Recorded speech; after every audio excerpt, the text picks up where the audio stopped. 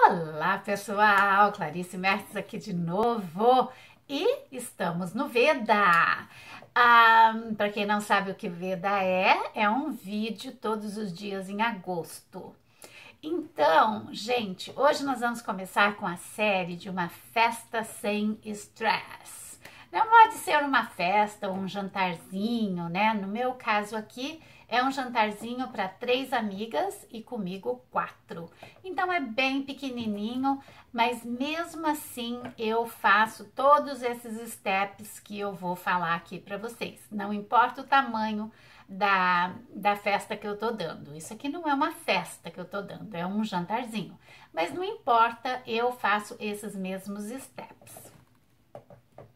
Então eu vou Vou dividir isso, né, por, por pelos dias para gente chegar lá no dia da festa, sem estar cansada. Como que a gente faz? Então, gente, a primeira coisa que deve ser feito, vocês devem pensar em quem vocês vão convidar, né? E no meu caso aqui são só três, então eu não preciso escrever, não preciso fazer uma lista, né? Eu sei bem quem é quem. E, mas se for uma, uma festa grande, é bom escrever o nome das pessoas.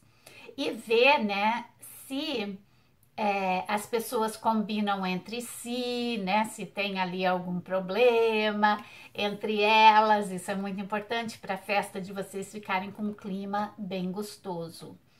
E outra coisa, dá uma olhada no que as pessoas comem. Geralmente tem assim vegetarianos, né? Né? Se vocês forem me convidar aí, ó, gente, carne, não. aí vocês têm que pensar num cardápio, né? Mesmo que vocês vão servir a carne, vocês têm que pensar em alguma coisa que vai ser, assim, substancial para pessoa que não come carne.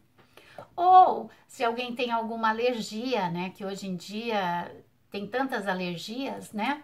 Então tem que ver isso. Minhas amigas eu conheço bem, eu conheço bem go o gosto de todas, então eu não preciso me preocupar com isso. Eu não faço carne para as minhas amigas e elas encaram numa boa, porque minha comida geralmente é bem, bem forte, bem substancial e todas garantem que não sentem necessidade de carne. Não sei se é verdade ou se elas são só educadas, mas quiserem comer na minha casa, esse é o jeito que é. Aí Tá, então você tem quem você vai convidar e né, o número de pessoas que você vai convidar e você sabe o gosto das pessoas mais ou menos, né? Aí a terceira coisa, vocês vão decidir o que vocês vão cozinhar. Ah, né? Aí vocês pegam lá, decidem o cardápio de vocês. Então eu, no meu caso, eu vou fazer uma coisa bem simples porque, como eu falei, é sem estresse. Então, eu vou preparar uma torta salgada, que vai ser a, a janta. Então, vai ser uma torta de cogumelo e espinafre e uma salada. Essa vai ser a janta, só isso. E de sobremesa vai ser sorvete. Sorvete e café, que a gente gosta de tomar sorvete com café. E então, no meu caso, é isso. Aí vocês veem o que vocês querem servir.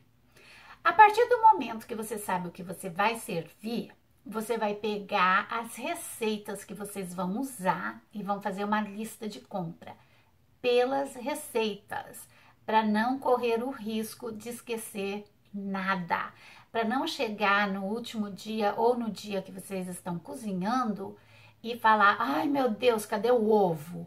Ou esqueci de comprar, né, a salsinha. Então, gente, façam uma lista. É muito importante se vocês não quiserem ter estresse. Eu fico muito estressada se eu não tenho uma lista. Eu sou uma pessoa que eu faço lista das listas que eu tenho. Um, e daí amanhã eu volto e falo mais, mais steps que nós vamos caminhando, tá bom? Nós vamos caminhando para a festa sem estresse. então hoje foram diquinhas, né? Pra gente começar essa festa sem estresse, que é... Então é a lista dos convidados, fazer o cardápio, ver se alguém tem alguma restrição alimentar, ver se alguém tem a alergia e fazer a lista de compras, né? Pegar as receitas e fazer as lista, a lista de compras, tá bom? E amanhã eu volto para a gente continuar essa série, tá bom? Gente, se vocês gostaram, me dá um thumbs up. Se vocês gostaram, me dá um like, se inscreva no meu canal. Vejo vocês amanhã com mais dicas e beijo no coração de vocês. Tchau!